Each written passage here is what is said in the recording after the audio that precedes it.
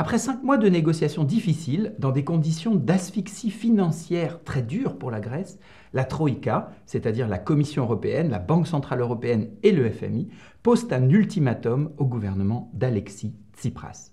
Elle exige une fois de plus qu'il renonce à toute velléité de changement et qu'il applique les politiques mémorandaires, comme l'avaient fait ses prédécesseurs. Il faudrait donc que le peuple grec accepte une nouvelle baisse de ses pensions retraites, déjà ridiculement basses, une augmentation de la TVA et la poursuite du programme de privatisation des infrastructures publiques et des services publics. Bref, un enfoncement toujours plus massif dans la pauvreté.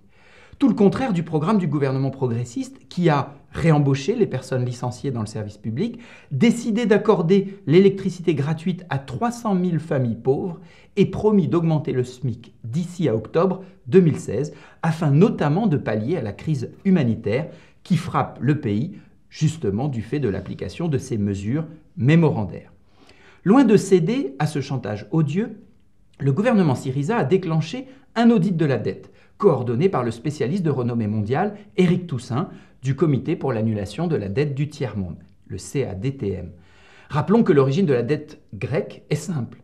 Des pays ont prêté de l'argent à leurs banques pour que celles-ci prêtent en retour dans des conditions douteuses de corruption, de maquillage des comptes publics et à des taux prohibitifs supérieurs à 5% à la Grèce, qui en retour utilisait cet argent pour payer sa propre dette. La même situation s'est produite à Chypre, au Portugal ou en Irlande. Syriza a également réclamé le paiement des réparations promises par l'Allemagne au lendemain de la libération, pour compenser les destructions subies par la Grèce pendant la guerre. Ces jours-ci, le gouvernement de Tsipras a décidé finalement l'organisation d'un référendum le 5 juillet prochain pour demander à la population de choisir son avenir et donc la possibilité de quitter l'Union européenne.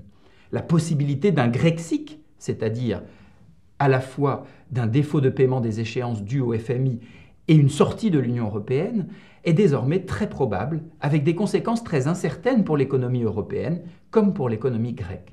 En tout cas, une chose est sûre, l'Union européenne n'est plus au service des peuples.